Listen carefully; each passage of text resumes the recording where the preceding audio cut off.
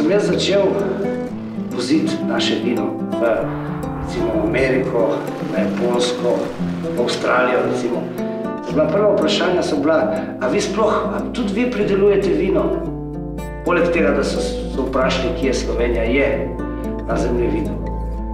Po 20 letih trdega dela, če pridete danes recimo v eno dobro newyorško restauracijo in ko rečete Slovenija, vsi vejo, da smo mi izredni vinari.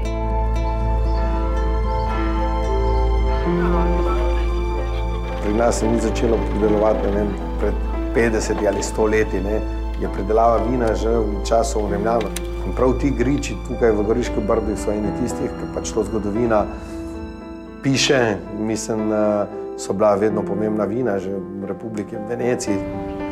In mi smo bili recimo v Avstro-Ogrski monarhiji, potem Prva svetovna vojna, Italija. Potem je bila pa druga svetovna vojna, ki se je sistem čisto spremenil, ki je bilo treba iz tistega trga, ki si ga že imel za vino, za grozdje, enostavno se je spremeniti. No, obvezno nekje pritiskali, da gremo v zadrgo, ampak okay, naši so ustrajali, zato so bili včasih tudi tepeni oziroma davčno obremenjeni. Ampak... S tem, da se v tistem obdobju definitivno ni kaj dosti govorilo v smeri kvalitete, ampak so bile te količinske dosežki v spredju.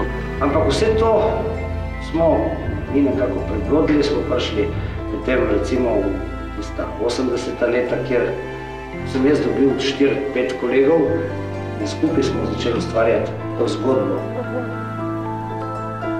I have seen tremendous change from the old collectivized mass market setup to the uh, new focus on quality wines and exciting individual wineries that have appeared. Ampak mi smo štartili iz pozicije, ko je bilo treba povedati, od kje smo, da tudi tam obstaja trca, da je od nule, oziroma včasih manj kot nule, iz negativne strani nule. V tistem obdobju je prišla generacija, ki je imela malo več kontakta s svetom, je videla čez mejo. Je bila mlada, polna energije in uh, je hotela nekaj pokazati. To druženje nam je dalo napredek. Nismo gledali iz stališča uh, biznisa, ampak smo gledali iz stališča prijateljstva.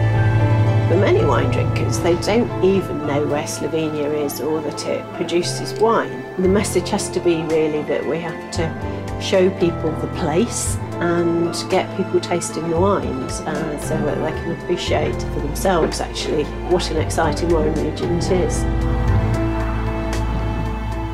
Rečejo seveda najboljši kabernet je v Ameriki, najboljši Savignon je dol Novi Zelandiji, najboljši Chardonnay je. To lahko rečejo, ne? ampak jaz rečem, najboljša vina so pa v Brtih. Ne?